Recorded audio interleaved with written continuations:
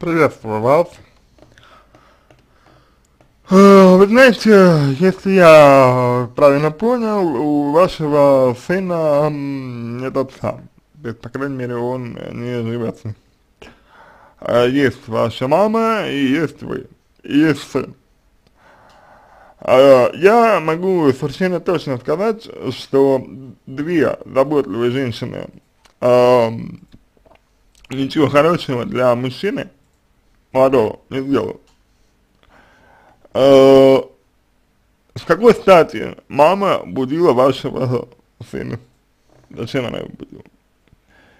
С какой стати э, вы, э, как бы, ну, в общем, э, считаете, что все это ваша какая-то ответственность, что, ма, что вашей мамы, что вас, и так далее. Хочет сын работать, его право. Хочет куда-то ехать, его право. Не хочет не работать, тоже его право. Все.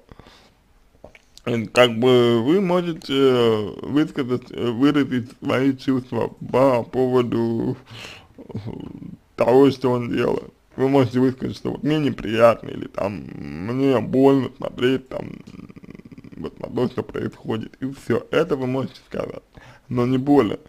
А здесь сын делает, что хочет, это его, это его право. То, что он нестабилен и непоследовательно в своих действиях, опять же, если он живет только с вами, если он, если он не общается с мужчиной старшим, то это нормальная позиция, потому что к последовательности его женщина приучить не способна. Что-то вы говорите о себе, что вы работали и так далее, я не очень, не очень понимаю, опять же, к чему это, то есть, ну, к чему эта история? То есть, ну, вы работали, мама работала, а при чем здесь сын вообще? То есть вы почему сравниваете сына с сыном? Вот, и все. А, в целом, мне думается, что вы пытаетесь занизить тот эмоциональный эффект, который на вас эта ситуация произвела, вот, и я бы обратил ваше внимание на то, почему вас это, это так взволновало. Вероятнее всего речь идет об, об отсутствии адекватных границ между вами и вашим сыном. Вероятнее всего речь речь идет об этом. Вот. А, такие вот, а, такая вот история. А я вот тут э, прочитал, что вы оставили его, он у меня на сидит за компьютером, пусть сидит. Пусть сидит. Что проблема-то?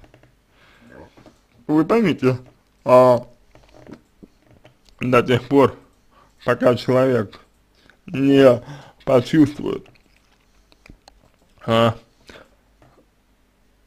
скажем так, последствий своих действий, ничего не изменится когда вы и ваша мама эм,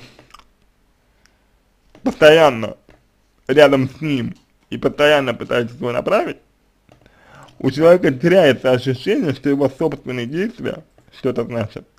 И у человека появляется чувство, что ему можно ничего не делать, все вы делаете за него. Потом такие люди оказываются одни. Ведь вы и мама не вечные, не вечные. Подумайте об этом. А, на этом все. Если у вас а, появится желание освоить навыки жесткой любви, обращайтесь к любому, к любому психологу. А, я уверен, вам помогут. Я надеюсь, что мой ответ был полезен. А, желаю вам всего самого доброго и удачи.